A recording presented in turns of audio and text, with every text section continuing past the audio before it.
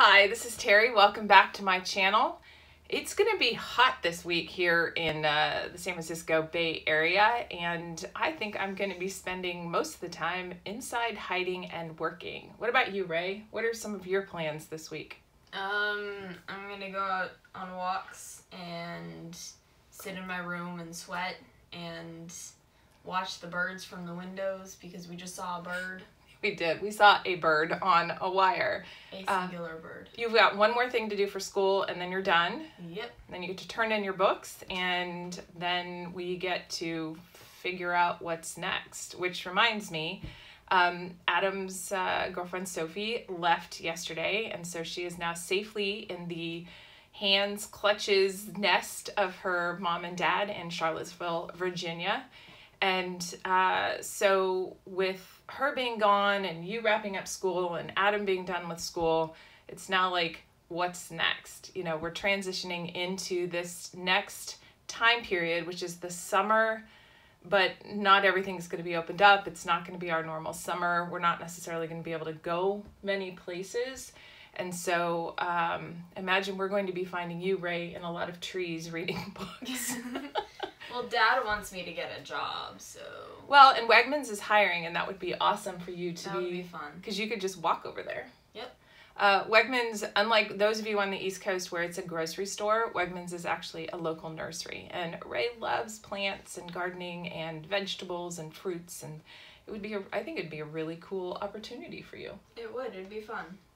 At the same time, I think we're all starting to crack even more. Starting to. Okay, so the last couple of weeks, Rei, you've definitely so sh- shown some stress signs, and I'm really at a loss as to what to do to help you. Uh, given that today is day 70 as we're recording it, this will come down out on the beginning of our 11th week.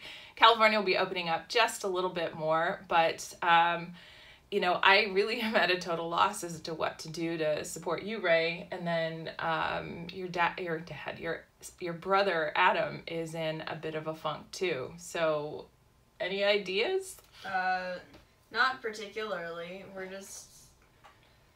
I don't know. Got my therapist. That's nice. Yeah, it's just like how many days a week do my kids need therapy? uh, right now it's once a week, which is which is good. Um, yeah, I, I woke up at like 1.15 in the morning and went in just to peek on Adam just to see if he was sleeping, and he wasn't. He was playing Fortnite or something. Um, He would never play Fortnite. He was probably playing Rocket League. no, he wasn't playing Rocket League. It was one shoot. What does he play with Nick? The shoot 'em up one. Not Fortnite. okay, whatever it was, it was uh, maybe it was Call of Duty. Um, anyway, he was doing a shoot 'em up, bang 'em up uh, video game at 1.15 in the morning. I was like, yeah, this is this is not good. But um, hopefully, he wasn't feeling well, and uh, he took about a week off, week plus off from uh, work. Um, got tested. Uh, both Zeke and Adam have gone through the COVID testing and tested negative. Um, so we know that his feeling unwell has nothing to do with that. And so hopefully Adam will go back to work and then he'll have some sense of a schedule and normalcy and there may be some opportunities for him at work. Um, Rei, I know that you'll put together kind of plans for your summer and things to learn and things to do. And I'm sure you'll have sticky notes all over your closet in order to remind you of the things that you're thinking about. Um, is that kind of on your plan? Um, I don't know about the sticky notes, but yes, mapping out what I want to do and how I'm gonna do it and all of that is definitely on the agenda. Good. I, I think that'll be that'll be good. And uh, I've been getting out more. Uh, been hiking. Uh, Zeke and I did a three and a half mile. Well, it, it was three and a half miles. Uh, a mile and a half of it was straight downhill. And once we got to the bottom of that, I'm like, we're not going back up that hill. And so I texted Adam. I was like, Are you going anywhere? Because we might need a pickup.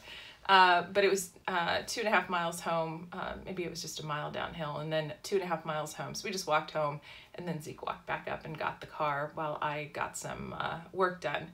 Because I have some client consulting work that um, I've been procrastinating about a little bit, and so I will be focusing on that. I've blocked out time on my schedule, but I'm just finding I'm just not as productive as um, I have been in the past. And Well, no one's as productive, mom. I know, but you know, that's I mean, that is one of my core things is being just uber productive. And so I'm having to be just kinder and gentler and allowing um, you know, the other day I did two and a half solid hours of work, got something finished and off to my client. And it was like, you know, it feels good. And then I got out for like a, an hour and a half, two hour walk. Uh, and then, you know, my normal other stuff. Um, I think I even did something creative that day. So I'm just trying to piece it all together and think that being productive, um, doing nothing can be uh, a good productivity thing for me in terms of my mental health and my physical health. And given that it's going to be hot today, um, I can't, I have, I'm wearing pajamas today. I have brand new pajamas. I'm super, super happy about these. Uh, I decided we were just going to record it this morning, give Rei the entire day to edit rather than waiting until five o'clock on a Monday or a Friday. So it was like, screw it. I'll throw in a little bit of makeup, put my dirty hair up in some sort of a wonky nest. Poof. It's, it's a piece of art. uh, piece of art because art is in beauty is in the eye of the beholder and oh you didn't say it was beautiful art you just said it was art yeah no have you seen some of those things in modern art museums? Like what is even going on? Great like three stripes of paint on a painting? Or just directly on the wall? Do you think if i went into like a modern art museum and with just a paint bucket and just like did a weird like swirly thing no. they would notice? Yes they would notice. I don't think they'd notice because it would be exactly the same as the painting right next to it. Okay let's not try that. Or if you try it try it before you turn 18 bet. So anyway super casual. Uh, I, I do want to get out for a hike or a walk. Right now it's what uh, it's almost 9 a.m and i think it's going to be hot. Um, it, you know, as I said, we're just going to adjust to life after Sophie being here. Uh, it was really nice that um, my friend Donna's uh, daughter, Catherine, um, who is the same age as Adam, they, they went to Coachella last year together. I have pictures of them in the bathtub um, from way back because they used to live across the street. Uh, and if you remember, Donna is the the one who was concerned about my mental health last weekend and said, "Hey, let's get out for a hike." So I've hiked a couple times with with Donna, and uh, Catherine is house sitting for some neighbors, and so um, Catherine came over and joined us for dinner. Um, we've include we've basically pulled her into our quarantine. Uh, Donna's kind of in my quarantine, so um, by extension, Catherine is, and it was really nice to have her at the table. I think it would have been, I think it would have been a lot more painful if Catherine hadn't been there. Since Sophie's been our, at our table for you know she was at our table for 68, 68 days. So that's was, a lot. Yeah, so it was Oh. um, nice to have Catherine there because Adam and Catherine are friends, and it just made it it just made it easier. And um, so yeah, as for the the hiking and the socializing, uh, you know, I made a list because I'm a little concerned about Adam being a little too free about who he's seeing. So we're gonna have to sit down and map out who he's seeing and make sure that we're keeping that uh, narrow so that he doesn't compromise us and potentially compromise others. Not not to mention himself.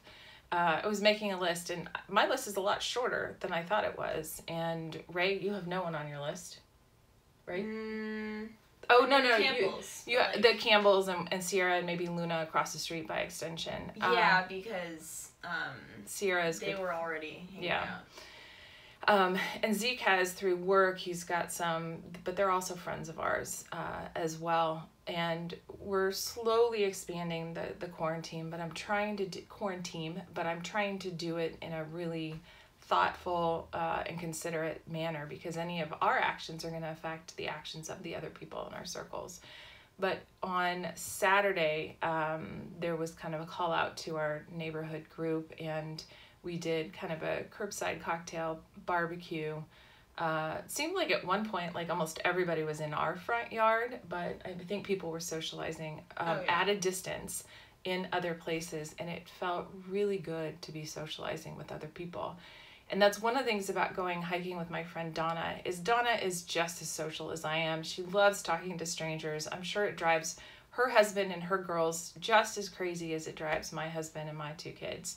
And um, so we hiked on Saturday morning, had a 4.6 mile uh, hike up and down the hills. And we bumped into people she knew, people I knew. So we were able to introduce each other.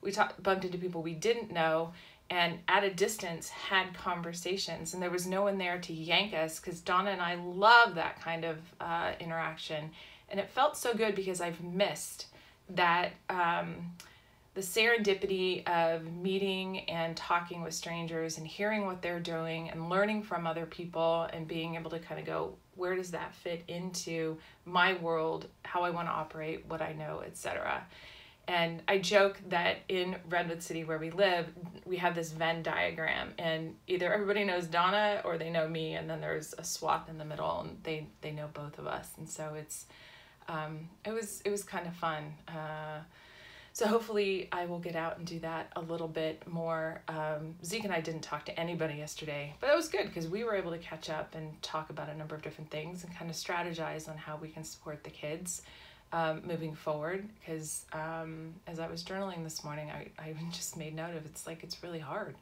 Uh, we're really at a loss as to what to do to make sure that our kids are, are staying um, sane and relatively sane and healthy and not totally uh, cracking. So just know, Rei, as parents, we are thinking about this, strategizing, trying to find ways to be helpful and supportive, trying to ask you what you guys need. But um, you guys are just as much of a loss because you know we don't we don't have a lot of flexibility in terms of what we can actually do. Yeah, say it with me. These are unprecedented circumstances. Unprecedented times, and you're you're so done with us. Um, and I'm very done with that entire phrase, unprecedented. I have not used it. I think in several weeks. Uh, you've not used it, but my um, principal uses it yeah. in every single email. Yeah. Um, and a lot of my other teachers use it too. Yeah. And I'm finding it funny too, actually, just. Why? It's just the everyone is using the exact same phrase. Because it's weird. I mean, none of us know what to do with with this. We're at a loss as we see what's going on in other parts of the country. Um, and are terrified by certain behaviors, uh, either at the national level or uh, in other states. Um, it's just it's i mean we just we just don't know what to do uh, every day we seem to learn a little bit more uh, it's good that you know you don't necessarily have to wipe down all your packages or leave packages outside for three days. Uh, we weren't doing that. Um, but we're also in a low risk category you know. It's we're just just not necessarily i mean if we do get it we could get very sick. Um, i mean we have no other comorbid comorbidities um, but at the same time, we don't want to be asymptomatic and walking around and sharing it with, with others. I think that's it for today, right? You got anything else? Not really, no.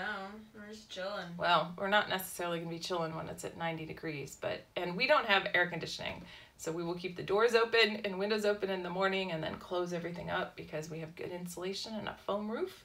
So we're in a um, stained concrete floor, and we are going to be counting on that. I will be lying on my back on the floor because it will be nice and cool, and everything else will be hot and gross and sweaty. That reminds me. Thank you so much to all of my new subscribers for helping us get to 100 subscribers so we can get a dedicated URL. Woo! Uh, last I ch- checked, we were actually at 123 subscribers. So I went from lucky 60, number one two three. Yeah, I went from 66 to 123 subscribers in just a couple of days. So thank you, welcome to, if you're new, and then if you've been following along since the the beginning in January, thank you so much uh, for subscribing and for following along and for supporting and for all of your comments. Um, if you want to be notified, click the bell and you can go ahead and get notified of new episodes that come out every Tuesday and Saturday. And with that, let go of perfection, take some risks, and above all else, have some fun. And still wash your hands. And wash your hands.